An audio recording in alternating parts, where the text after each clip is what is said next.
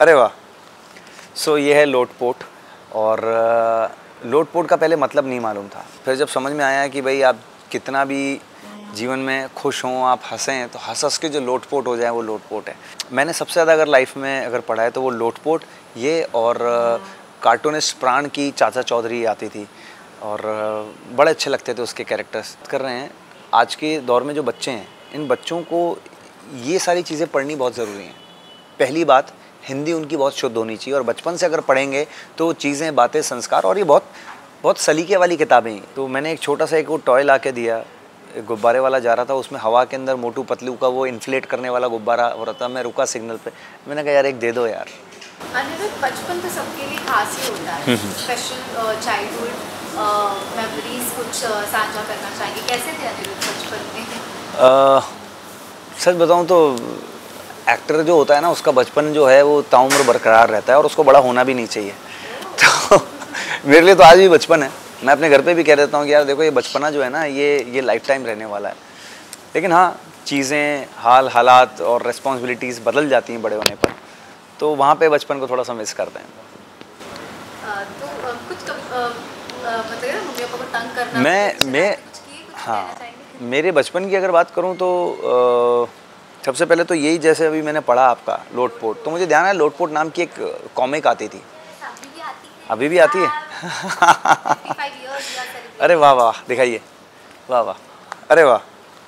सो ये है लोटपोट और लोटपोट का पहले मतलब नहीं मालूम था। फिर जब समझ में आया कि भाई आप कितना भी जीवन में खुश हों आप हंसें तो हंस हंस के जो लोटपोट हो जाए वो लोटपोट है। तो मैंने सबसे ज़्यादा अगर लाइफ में अगर पढ़ा है तो वो लोटपोट, ये और कार्टूनिस्ट प्राण की चाचा चौधरी आती थी। और बड़े अच्छे लगते थे उसके कैरेक्टर्स चाहे ये मोटू पतलू हों, चाहे उसके अलावा अपना साबू चाचा चौधरी और चाची हों। तो वो बचपन का वो दौर है जिसको मैं कभी जीवन में नहीं भूल सकता। और खूब हँसते थे पढ़ पढ़ के, खूब लोटपोट होते थे। फिर जब बड़े हुए तो लोटपोट का मतलब समझ में अच्छा लोटपोट ये होता है। बट पता है, मुझे लगता है कि अगर ये चीज़ें नहीं होंगी ना, आज के दौर में जो बच्चे हैं, अगर वो इसको नहीं पढ़ रहे हैं तो एक्चुअली वो बहुत कुछ मिस कर रहे हैं। आप मेरी बात कर रहे हैं बचपन की, मैं आपको बताता हूँ मेरा बेटा जो है, उसको मैंने एक वो छोटा सा टॉय ला के दिया है। हाँ। आप आप मेरी बात कर रहे हैं, आज के दौर में जो बच्चे हैं, इन बच्चों को ये सारी चीज़ें पढ़नी बहुत ज़रूरी हैं। पहली बात, हिंदी उनकी बहुत शुद्ध होनी चाहिए, और बचपन से अगर पढ़ेंगे तो चीज़ें, बातें, संस्कार, और ये बहुत बहुत सलीके वाली किताबें हैं। बच्चे की अपनी बात करने की जो एक शक्ति है, छोटे बच्चे की, पढ़ने का जो उसका एक अपना तरीका है, जितनी सरल सहज भाषा में इसमें लिखा होता है, मुझे नहीं लगता कहीं और होगा।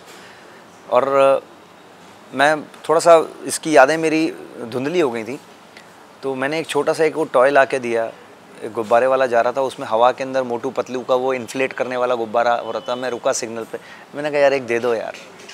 तो मैंने वो मोटू पतलू का वो इन्फ्लेट करने वाला जो एक होता है वो लेके गया और उसको फिर मैंने बताया। अगले दिन उसने अपने आप आ, उस पर वॉइस कमांड पे लग के उसने यूट्यूब पे लिखा मोटू पतलू। तो कैरेक्टर से बच्चे कैसे अटैच होते हैं आप वो देख लीजिए।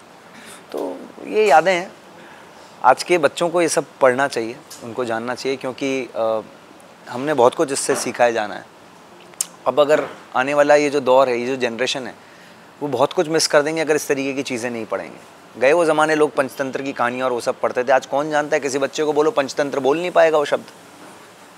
ये कटु सत्य है तो अगर हिंदी, आज हम हिंदू देश के, हिंद देश के निवासी हैं, बच्चों को धीरे धीरे सब पढ़ना, बोलना, जानना बहुत ज़रूरी है। और जब आप पढ़ते हैं, तभी आपकी ज़ुबान, आपकी भाषा अच्छी होती है। हम एक्टर्स के लिए भी वो बहुत ज़रूरी है।